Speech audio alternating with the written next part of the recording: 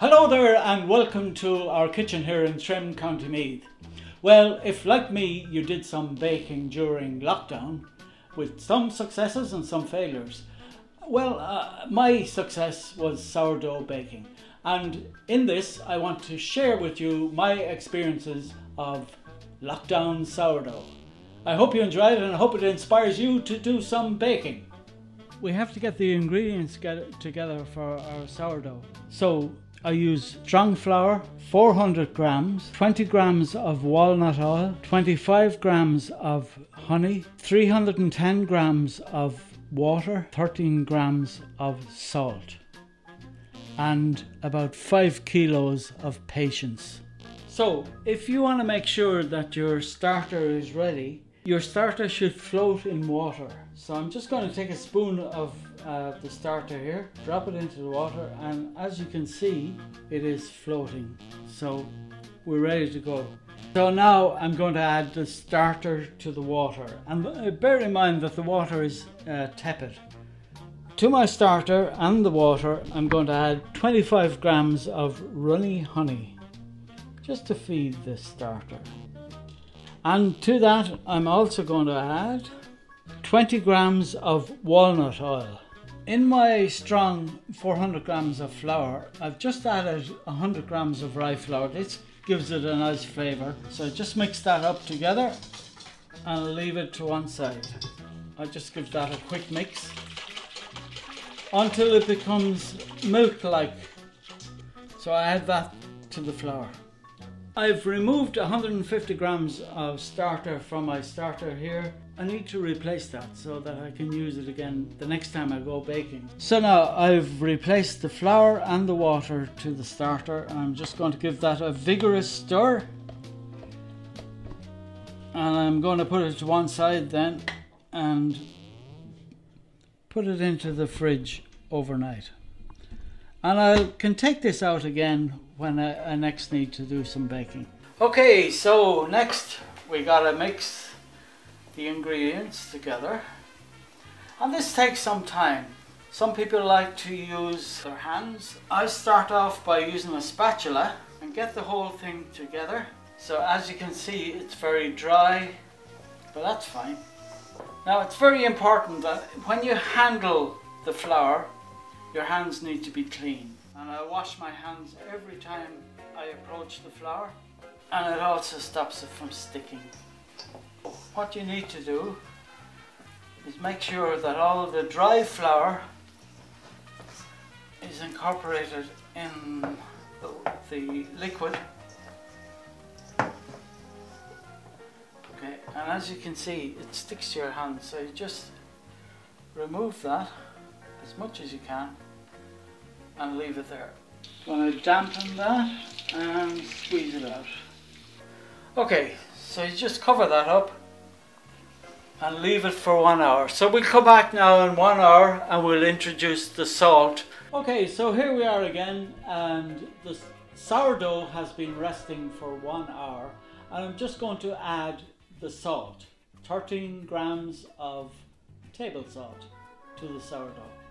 And now I'm just going to wet my hands uh, so the sourdough doesn't stick to the hands and I'm going to press the salt into the sourdough.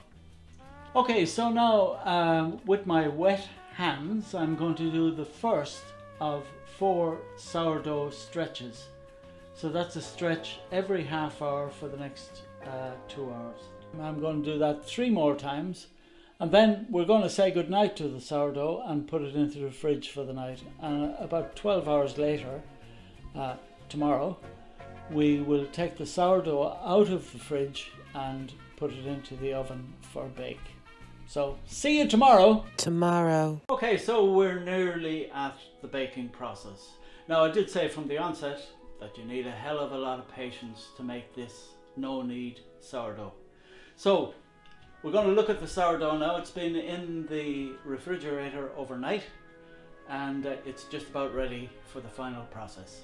So here's what the sourdough looks like after 12 hours in the fridge.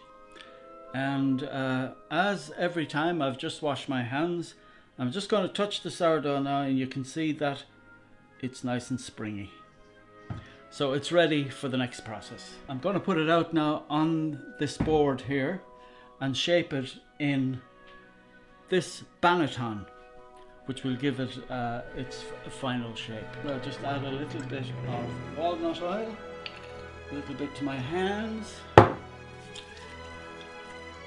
a little bit to this spatula.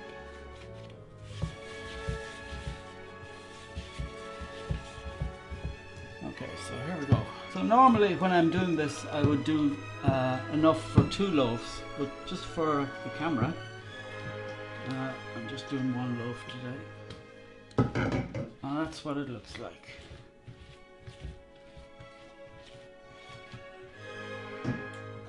So try and shape it into a ball before I put it into the banneton. The next stage then is to flour the banneton and I just use I just use strong flour. They say you should use rice flour if you wish. So just sprinkle some of the flour there and spread it around on the banneton.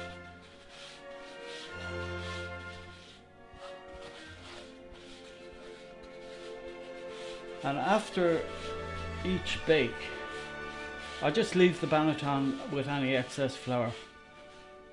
Uh, there's no need to clean it off.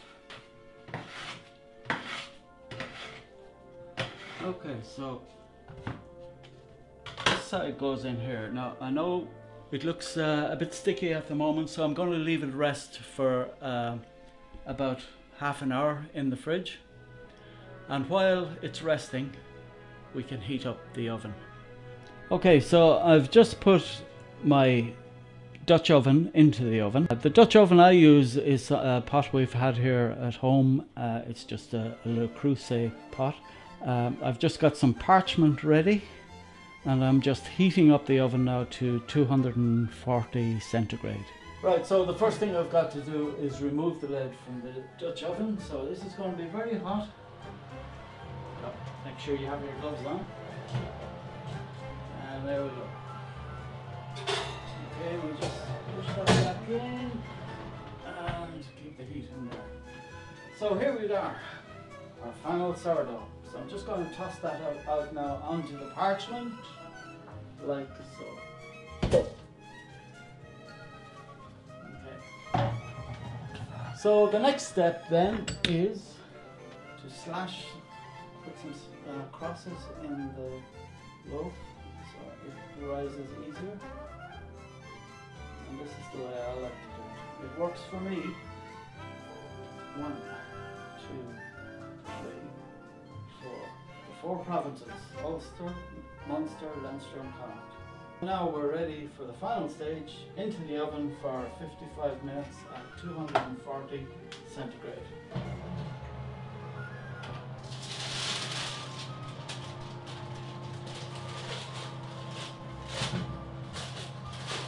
Try and get the parchment away from the bread, which is tricky because it's very hot which is covered with the lid and the steam from the dough will help raise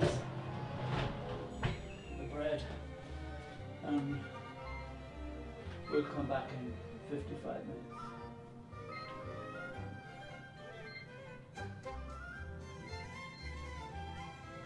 Okay, see you in 55 minutes. Okay, so we're almost ready to remove the bread from the oven. I'm just going to give it five more minutes without the lid and it's very hot but smells delicious. Look at that. So I'm just going to put that back in the oven for five more minutes just to uh, give it a, a better crust. So while that's happening, we can go through the uh, sourdough starter. The thing about sourdough starter for me is not to overthink it. It takes up to seven days to produce a good sourdough starter. You can see from my simple recipe that it isn't a big deal.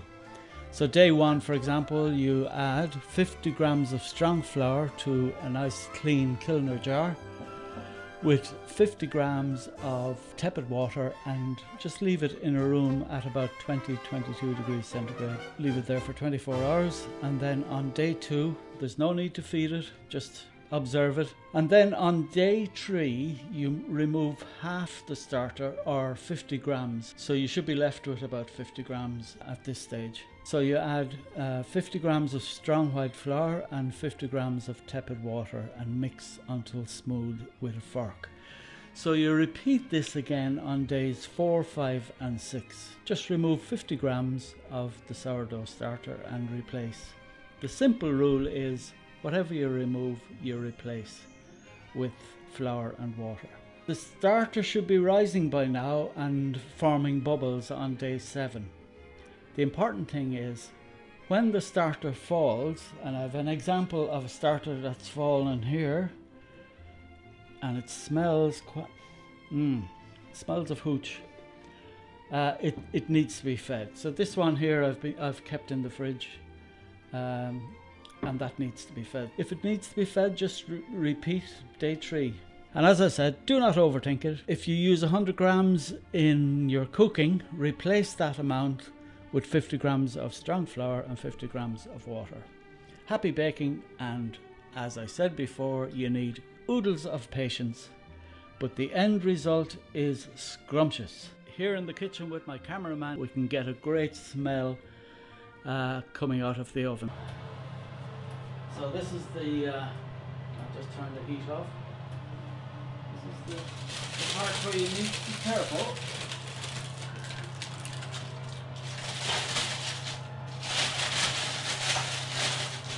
Ooh. Nice and warm.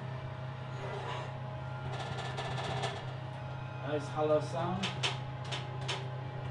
And a crusty finish. Lockdown sourdough. Thank you.